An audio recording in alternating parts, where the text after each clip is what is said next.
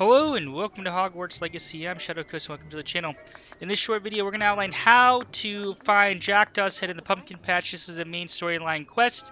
So you can see here, we have to destroy pumpkins to find the head. So it can be frustrating if you're just shooting around, but actually it's easy. He will be moving in a pumpkin. So you see this pumpkin moving?